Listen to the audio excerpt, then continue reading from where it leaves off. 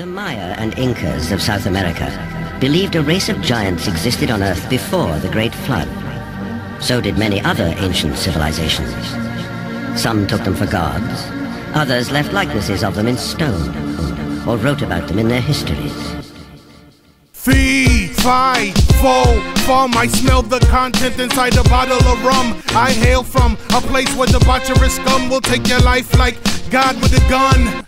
Walk lightly, mind your manners, lights, bananas. I chose the pen, some choose knives and hammers. Soulless, putting holes inside your bandanas. Strong survive, they eat the weak like piranhas. In a matter of seconds, then go for seconds. See, I realize that my mind is a weapon. If you don't have a decent IQ to get the stepping, you're not walking fast enough. I put some pep in. After a warning, you gain knowledge dead men possess.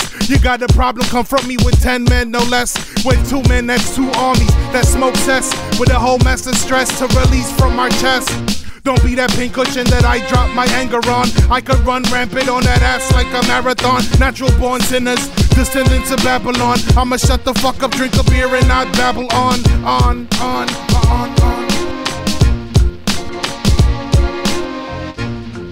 There were giants in the earth in those days, and when the sons of God came in unto the daughters of men, and they bare children, the same became mighty men. The same became mighty men. Yeah. You motherfucking funky man. Yeah. Insight from the cold. Wanna keep life, need fire to control. Satan almost went brain dead.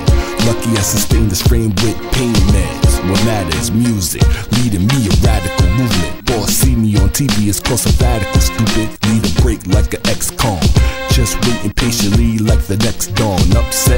No. Aches and pains make the kid appreciative. Got weight to gain, different ways I see we can live. Glad we made it, never had to play the victim. Had it mapped out before navigation systems. Speedy car took the CD bar.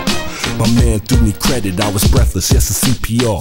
Able to function and my label is crumbling. Tupperware up ahead, cause my table is covered with nothing tighter than a tourniquet. Popping like Percocet. Don't carry what's not mine, I'm not a surrogate. I'm like a turtleneck, bring the heat above the collar. Every other pair speaks least a hundred dollars. Now, there's something you've got to realize. Over the last 50 years, the scientific world and the Christian world, together with the media, have done everything in their power to suppress the findings of these giant human beings.